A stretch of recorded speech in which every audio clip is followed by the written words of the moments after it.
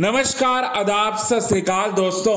Big boss season 17 के घर के अंदर अपकमिंग एपिसोड में आने वाला है दोस्तों, सबसे बड़ा ट्विस्ट जी हाँ इस ट्विस्ट की वजह से अंकिता लोखंडे ने विक्की जैन से रिश्ता जो है पूरी तरह से तोड़ दिया है। जी हाँ, अब ये ट्विस्ट क्या है? आइए आप सभी दर्शकों को बताते हैं आज के खास रिपोर्ट में। आपको बताना चाहते हैं बिग बॉस सीज़न 17 के घर के अंदर बिग बॉस के मेकर्स ने सभी कंटेस्टेंट्स को यहाँ पर बुलाया, बैठाया, सोफे पर बैठाया और बिग बॉस ने एक ट्विस्ट की जानकारी दी सभी घर वालों को और कहा कि बिग बॉस के घर के अंदर जो रूम्स जो बटे हुए हैं, मकान जो बने हुए हैं उसमें बहुत बड़ा तब्दील होने वाला है, बहुत बड़ा तबादला होने वाला है।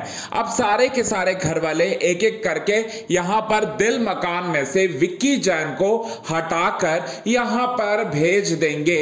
आपको बताना चाहते हैं दोस्तों, दम मकान में। जी हाँ दम मकान में भेज देंगे और दम मकान के एक कंटेस्टेंट को दिल मकान में जो है डाल देंगे और बिग बॉस के मेकर्स भी उस पर सहमति जताते हुए नज़र आएँगे। अब अंकिता और विक्की एक दूसरे से अलग हो गए हैं, जो कि दिल मकान में पहले एक दूसरे के साथ थे।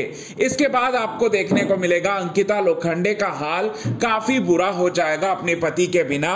तो वहीं विक्की जैन जो है दम मकान में जाकर सना, अरुण, तहलका भाई के साथ मिलकर ठहाके लगाते हुए नज़र आएँगे। और कहते हुए ये नज़र आएँगे कि मैं अपनी वाइफ से अलग होकर बहुत ज़्यादा जो है, यहाँ पर खुश खुश हूँ। बहुत ज़्यादा जो है मैं यहाँ पर हैप्पी हूँ क्योंकि अंकिता जो है हमारा आ, मतलब अंकिता जो है हमेशा मुझे पकाते रहती है और हमेशा जो है उसे प्यार करना पड़ता है। ये बात जो है वो कहते हैं विकी जैन। और विकी जैन ये सारी की सारी बातें ना सिर्फ़ कहते हैं बल्कि जश्न मना रहे होते हैं सारे के सारे दम वाले मकान के साथ मिलकर। और वहीं अंकिता लोखंडे फूट फूट कर रो रही होती है। अब बिग बॉस के मेकर जो है है, इस पर तीरी लगा देते हैं। अंकिता लोखंडे को बता देते हैं, विक्की जैन का असली चेहरा।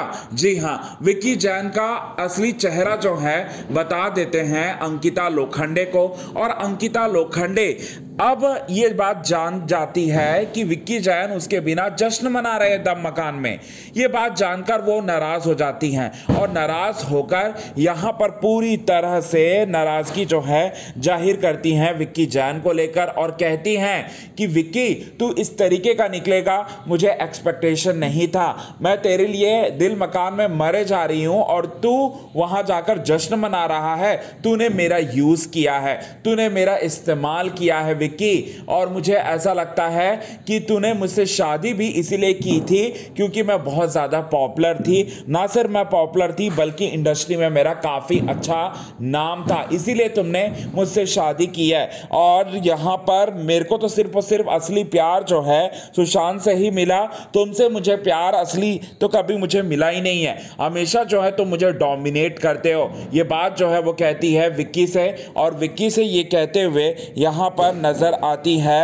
अंकिता लोखंडे, और ना सिर्फ़ अंकिता लोखंडे ये सारी की सारी बातें कहती हैं, बल्कि विक्की जैन जो है यहाँ पर समझाने की कोशिश करते हैं कि मैं वहाँ पर फ़न कर रहा था, थोड़ा बहुत फ़न कर रहा था तुम्हारे बिना तो इसमें गलत क्या है? और वहाँ भी डोमिनेशन करती है, लेकिन यहाँ पर अंकिता लोखंडे जो है विक्की जैन के सामने डटकर खड़ी रहती है, आवाज़ उठाती है और यहाँ पर ना सिर्फ़ आवाज़ उठाती है, बल्कि आपको बताना चाहते हैं दोस्तों, यहाँ पर उनसे अलग होने का फैसला करती है अंकिता लोखंडे। तो ये चीज़ें आपको अपकमिंग एपिसोड में देखने को मिलेगा दोस्तों बिग बॉस के घर के अंदर, जो कि काफ़ी ज़्यादा एक्साइटिंग होने वाला है। कितने ज़्यादा आप एक्साइटेड है दोस्तों इसे आप देखने के लिए कमेंट के थ्रू आप हमें ये बात ज़रूर बताएँ। अगर अभी तक आपने हमारे YouTube channel Quick TV News को सब्सक्राइब नहीं किया तो सब्सक्राइब आप कर लें।